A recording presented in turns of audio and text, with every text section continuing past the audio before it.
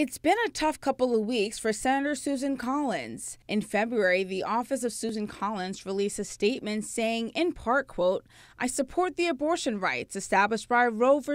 Wade and affirmed by Planned Parenthood v. Casey, end quote. However, Senator Collins is facing significant backlash for supporting the confirmation of Supreme Court Justices Brett Kavanaugh and Neil Gorsuch in the wake of a leaked draft opinion that would overturn Roe v. Wade. She told everybody that she felt that uh, Roe v. Wade was settled law and that Kavanaugh would not vote against it.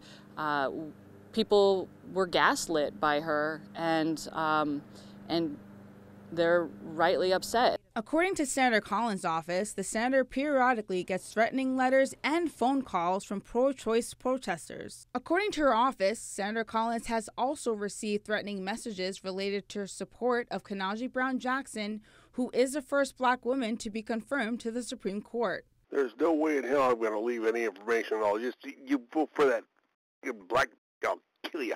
That's not all. Over the weekend, pro abortion chalk drawings appeared on the sidewalk of Senator Collins' home in Bangor. Some of the messages include Blessed to be the First Amendment, SOS Save a Susie, and many more. Bangor Police Department responded to Senator Collins' home at 9:20 p.m. Saturday following the chalk messages. According to Sergeant Wade Betters of Bangor Police, the messages were not threatening. It didn't surprise me that somebody had done that. The Senate is slated to vote on the Women's Health Protections Act Wednesday, which will codify Roe v. Wade. It will become harder for people in rural parts of the country. It'll be harder for people who are lower income. It will be harder for people to have access to these procedures. In studio, I'm Sierra Jordan reporting for ABC 7 and Fox 22.